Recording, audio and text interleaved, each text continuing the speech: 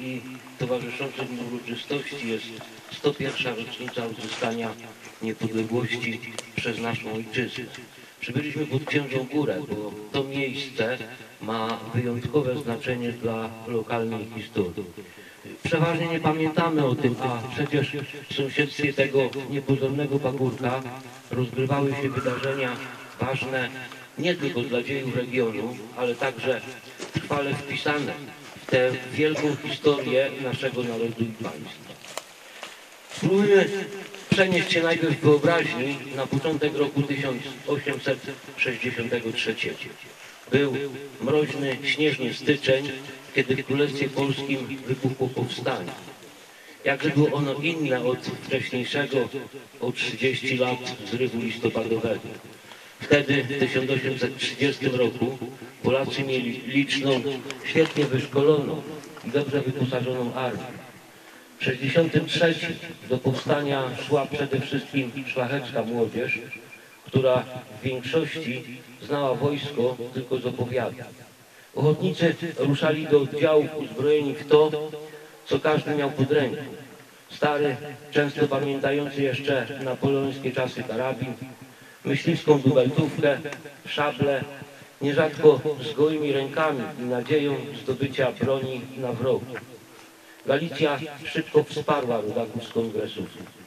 W Rzeszowie komisarzem obwodowym Powstańczego Rządu Narodowego został Wiktor Zbyszewski. W Leżańsku funkcję komisarza pogranicznego objął Jakub Kisielewicz. W Leżańsku przygotowano szpital dla rannych. W całym regionie wyznaczono szlaki przerzutu broni i amunicji, miejsca tworzenia i szkolenia oddziałów.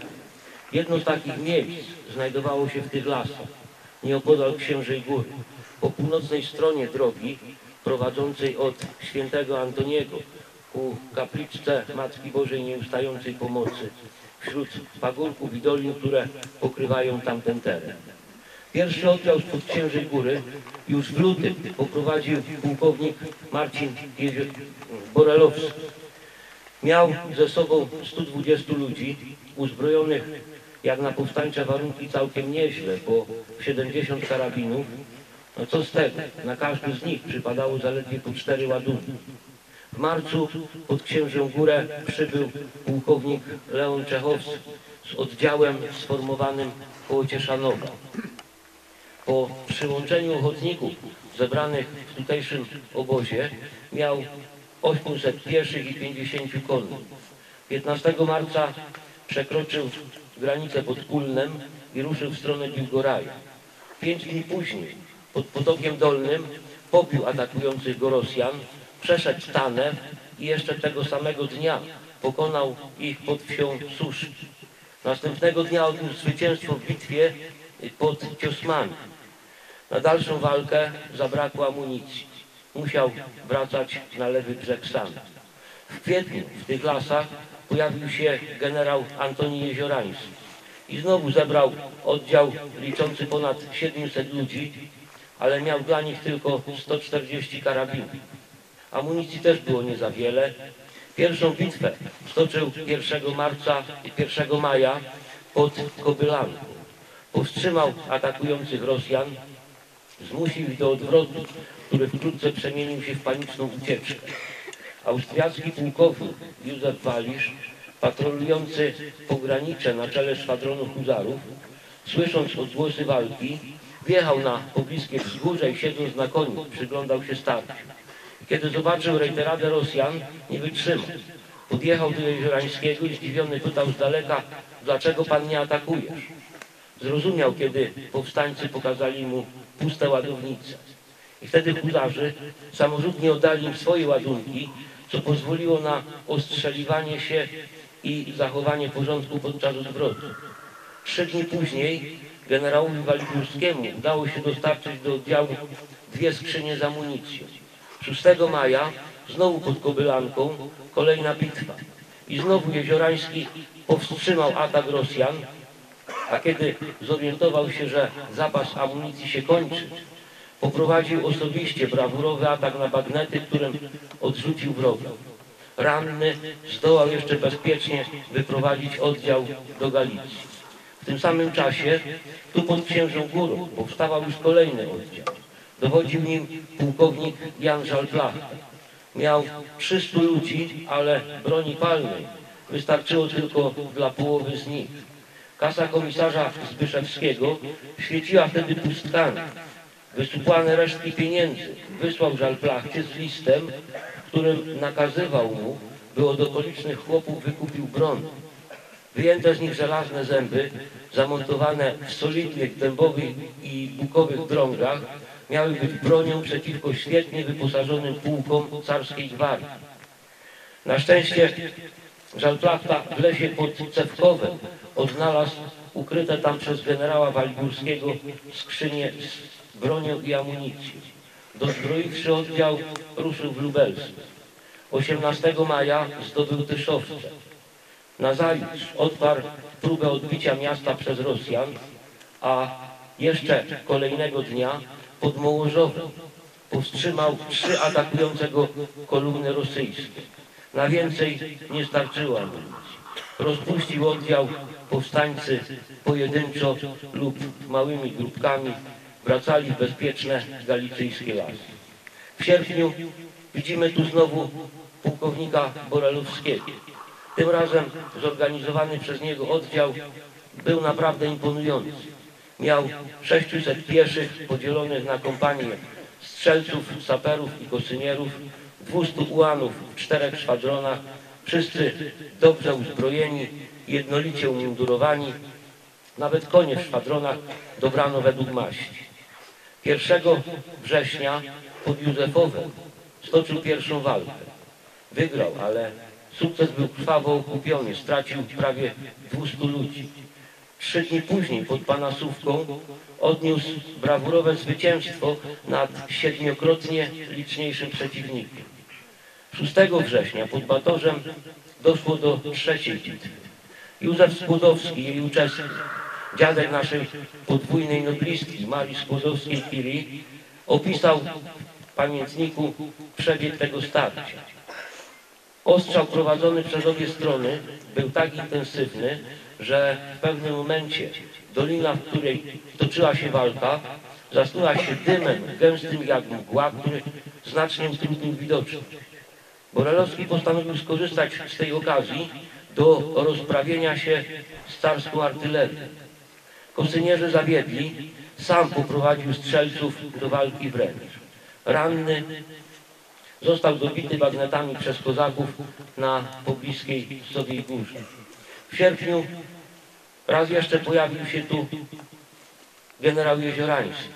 W swoim pamiętniku napisał, że obóz zastał w porządku ludzi zebranych i gotowych, tylko skrzyń z ładunkami pan komisarz na termin umówiony nie dobył. Czekającego na dostawę amunicji jeziorańskiego aresztowali Austriacy. Ostatecznie oddział poprowadził generał Waligórski, po kilku potyczkach rozbity pod Łączkiem Zaklikowskim. Później, na początku zimy, powstawało tu jeszcze kilka mniejszych oddziałów na uzupełnienie dla korpusów generała Dionizego Czachowskiego, generała Michała Heidenreicha, ale powstanie chyliło się już ku upadkowi. 50 lat po powstaniu lasy te znowu ożyły. Wchodziły wtedy razem z lasami sieniawskimi i leżącymi dalej na roztoczu lasami ordynacji zamojskiej skład wielkiego kompleksu leśnego, który pod koniec I wojny stał się domem dla tysięcy ludzi. Skąd się wzięli w tych lasach? Otóż już w trzecim roku wojny dowództwo austriackie zauważyło, że żołnierz na urlopie jest tańszy od tego przebywającego w okopach, bo jego utrzymanie przechodzi na rodzinę.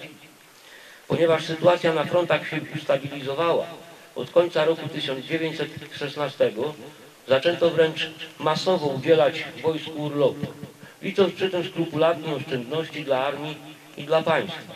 Żołnierze oczywiście chętnie korzystali z możliwości odwiedzenia rodzin, natomiast kiedy przychodził czas powrotu do macierzystych pułków, wielu z nich wybierało szukanie schronienia okolicznych lasach niż dalszą służbę najjaśniejszemu Panu. Zjawisko przyjęło takie rozmiary, że w armii austriackiej zakazano używania słowa dezerter, żeby nie szerzyć paniki, a tych przebywających w lasach nazywano żołnierzami na polskich urlopach. W tym wielkim kompleksie leśnym w 1917 roku stworzyli oni swego rodzaju państwo w państwie. Republikę Żołnierską, która miała własne służby zaopatrzenia, łączności, wywiadu. Mówiąc dzisiejszym językiem wojskowym, miała nawet własne siły szybkiego reagowania. I wtedy na wschód od dawnego obozowiska powstańców, tu pod Księżą Górą, pojawiło się kilka ziemianek, które dawały schronienie takim leśnym żołnierzom. Ich obecność miała znaczący wpływ na okoliczną ludność. Wzmacniała nastroje antyaustriackie, pobudzała patriotyzm. Tu w naszym regionie już od drugiej połowy 1917 roku wszystkie państwowe uroczystości związane z obchodami rocznic ważnych dla dynastii habsburskiej kończyły się manifestacjami, podczas których ludzie śpiewali Boże coś Polskę, patriotyczne pieśni. Natomiast w momencie, który był przewidziany na odśpiewanie austriackiego hymnu, ku przerażeniu cesarsko-królewskich urzędników panowała głucha cisza. Jesienią 1918 roku wydarzenia potoczyły się błyskawicznie. 28 października w Krakowie powstała Polska Komisja Likwidacyjna. Przez Polaków mieszkających w Galicji uważana za pierwszy po rozbiorach rząd niepodległego państwa polskiego. Na 31 października w Łańcucie zwołano posiedzenie Rady Powiatowej pod przewodnictwem księcia Andrzeja Lubomirskiego z Przeworska, ale posiedzenie nie doszło do skutku. Ksiądz Władysław Pryczyński z Markowej, marszałek powiatu łańcuckiego, nie dopuścił do obrad, twierdząc, że w nowej sytuacji i Rada musi być nowa. Wybrano ją następnego dnia. Przewodniczącym został Bolesław Żardecki.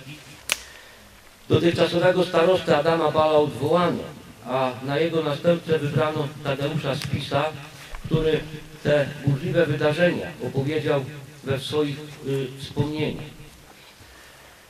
Drugiego, a jeszcze zapomniałem, bo to też ważne, w tym samym dniu, to jest 1 listopada, żołnierze stacjonujący w łańcuckich koszarach po prostu rozeszli się, rozjechali do domów, zabierając ze sobą broń, a przez miasto i okolice przelewały się tłumy ludzi.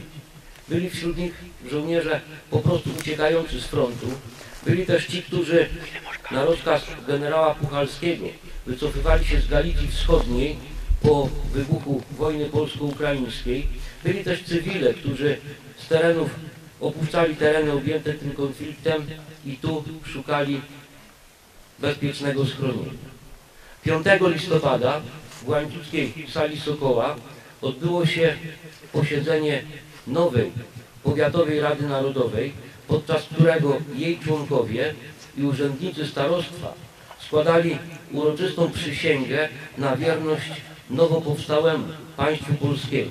Można powiedzieć, to taka nasza regionalna deklaracja niepodległości. 6 listopada Komisja Likwidacyjna, komisarzem likwidacyjnym dla powiatu łańcuckiego wyznaczyła Józefa Jachowicza ze Strażowa.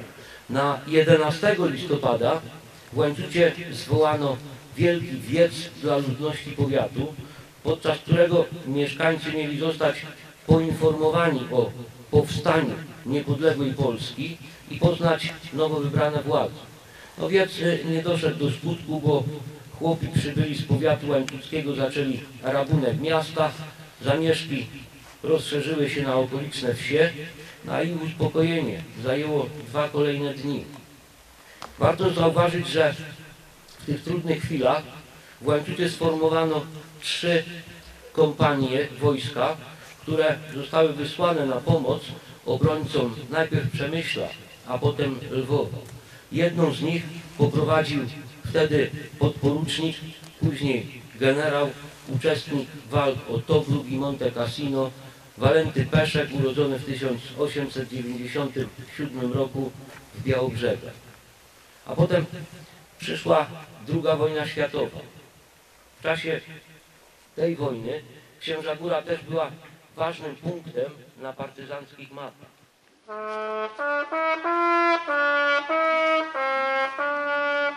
Thank you.